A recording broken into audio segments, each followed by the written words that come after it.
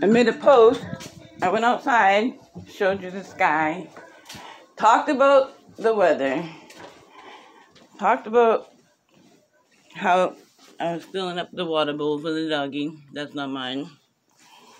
Talked about how I'm feeding the birds tuppence a day. Tuppence, tuppence.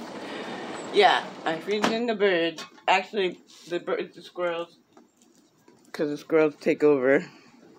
But it's meant for the blue jays originally when I discovered they like peanuts. Well, I put them on the table today because it's wet and we don't want them to have wet nuts even though they crack them open anyway. They're wet and hungry.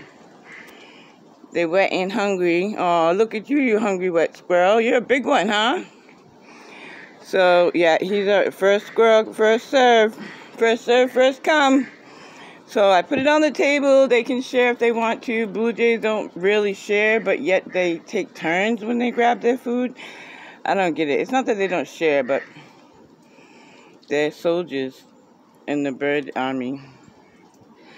Soldiers that job love. To be a bird, you can fly around, your shit don't stink, you can poop on anybody, bring them good luck. I wonder how far a bird can really go. Look at those pine trees. Yeah, beautiful. But see this guy? Hear the ducks? Yeah, we're gonna try and get some footage of these blue jays in a minute. That squirrel's still over there. Hey, go get the red squirrel so I can record him.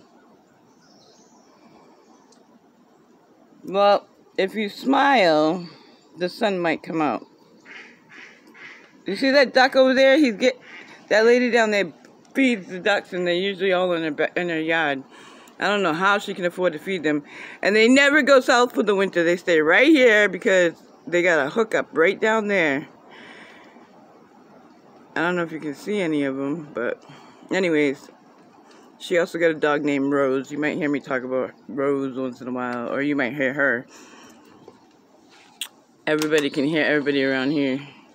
But over there, these neighbors, she's like, Kathy, Christy, whatever your name is. Like, yeah, what up? I miss your voice in the yard. Um, cause when I go out in the yard to do yard work, you know me, I gotta have my music on. I gotta have my wake and bake on. I gotta get it on when I go out in the yard.